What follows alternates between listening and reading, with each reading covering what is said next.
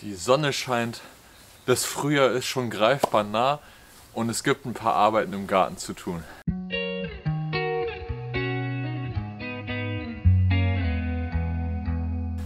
Hi, ich bin Art vom Kanal Bodenständig. Wie ihr seht, die Sonne scheint hier irgendwo. Da kribbelt es einen in den Fingern. Man muss raus. Und ich fange jetzt an mit ein paar Frühjahrsarbeiten, Putzarbeiten ähm, weiterhin. Und zwar habe ich jetzt hier zum Beispiel ums Gemüsebeet, da war ja mal dieser kleine Staketenzaun, der war total morsch, den habe ich jetzt mal entfernt oder bin gerade dabei. Da soll dann auch bald ein neuer hin.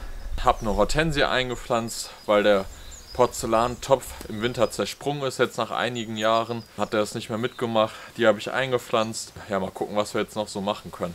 Zu der Hortensie wollte ich noch kurz erwähnt haben, normalerweise ist jetzt noch nicht der perfekte Zeitpunkt, um die einzupflanzen, wenn die im Topf steht. Das ist erst der März, aber wie gesagt, der Topf war zersprungen, die Wurzeln lagen nackt und ich dachte, wenn jetzt nochmal ein Frost kommen sollte, dann nimmt die vielleicht eher Schaden, deswegen habe ich die einfach schon mal reingesetzt. Und ich kann mir schon genau vorstellen, wie hier dann die Ecke im Gewächshaus oder vorm Gewächshaus im Sommer dann schön blüht. Und mit dem Zaun, das ist echt Wahnsinn. Ich glaube, der hat jetzt circa 13 Jahre gestanden. Ähm, aber jetzt ist er so gut wie durch. An vielen Stellen ist der unten schon so weit zurückgegangen, ja, dass die halt hier rauskommen aus dem Draht, aus dem Draht, der am Boden steht. Und mittlerweile ist das richtig cool. Der kleine Mann ist immer mit dabei, hilft schon fleißig mit. Da macht die Arbeit doch direkt doppelt Spaß. So, im Winter ist auch das Vogelhäuschen runtergefallen. Das muss ich auch einmal wieder aufhängen. So, haben wir das auch schon wieder. So, als nächstes sind wir hier an der Anzuchtstation. Chilis, Paprikas, Physalis und so weiter. Hier hinten auch Zitronengras. Wachsen schon alle richtig gut. Und auch die ersten Salate stehen hier. Und für die ist es leider ein bisschen zu warm hier, das seht ihr. Die wachsen schön, also schön kompakt. Aber trotzdem fühlen die sich draußen wohler. Deswegen kommen die jetzt raus ins Gewächshaus. Da habe ich auch schon angefangen, die Anzuchtstation aufzubauen. Das nehmen wir mal direkt mit. Hier keimt auch der erste Kohl und Porree.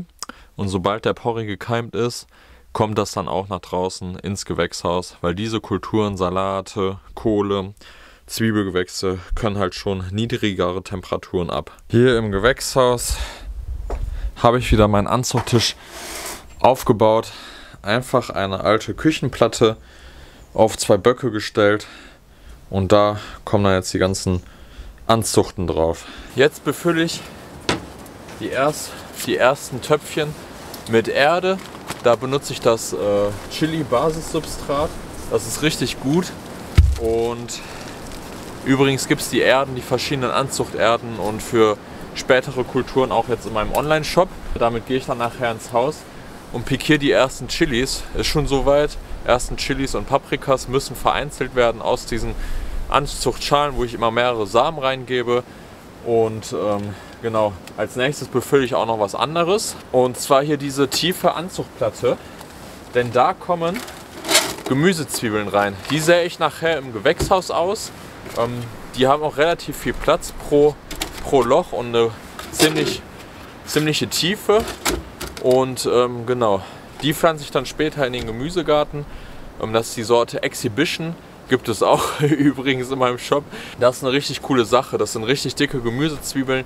Und dann mit der Anzucht fange ich jetzt früh an, direkt im Gewächshaus. Die keimen dann zwar ein bisschen länger, aber im Haus wird es halt schon wieder eng mit den Chilis, die ich jetzt nachher auch pikiere.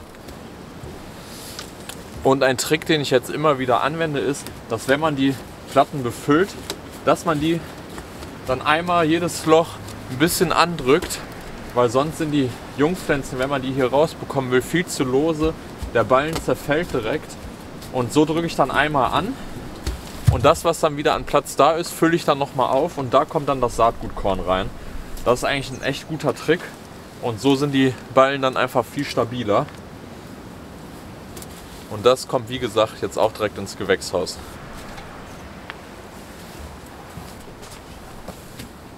Hier habe ich jetzt einmal die Chili-Pflanzen. Ähm, hier sind zum Beispiel nur drei aufgegangen, weil die Aussaaterde, die ich benutzt habe, war echt beschissen. Die war vom letzten Jahr eine ganz, ganz günstige. Und ähm, hier, die sehen auch nicht viel besser aus, sind ziemlich blass um die Ohren. Deswegen topfe ich die jetzt um in die gute Erde, pikiere die, dann hat jede Pflanze wieder mehr Platz und das ist ganz einfach. Wie immer dasselbe. Ich hole mir hier die Pflanzen raus, beziehungsweise kann ich auch einzeln rausholen. Hier sieht man das Wurzelwachstum. Jetzt breche ich mir hier eine Pflanze raus. So. Rest kommt erstmal eben zur Seite. Dann nehme ich mir den Topf, setze die Pflanze ein bisschen tiefer rein, als sie vorher war. Heißt mit Erde noch auffüllen. Und dann natürlich noch die Beschriftung dran. Das ist die Rocotto gelbe Riesen Chili. Und schon fertig. Die kommen jetzt gleich wieder mit ins Haus, in meine Anzugsstation.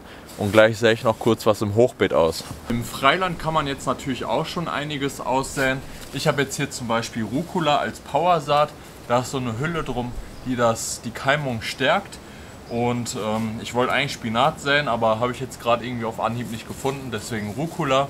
Ähm, hier neben steht der Feldsalat. Der entwickelt sich echt gut. Ziehe jetzt einfach ein bisschen Unkraut hier raus. Postelein. Gehe hier einmal durch.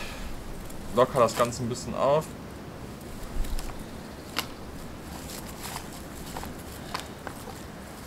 Das ist echt unglaublich, wie viele Würmer hier drin sind. Jetzt ziehe ich einfach mehrere rein. Das kann im Hochbeet schon schön dicht sein. Und jetzt kommt das Saatgut rein.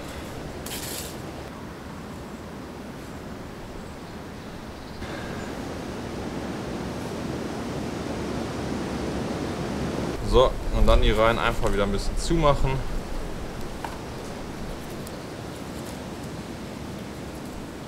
Und ein kleines bisschen andrücken.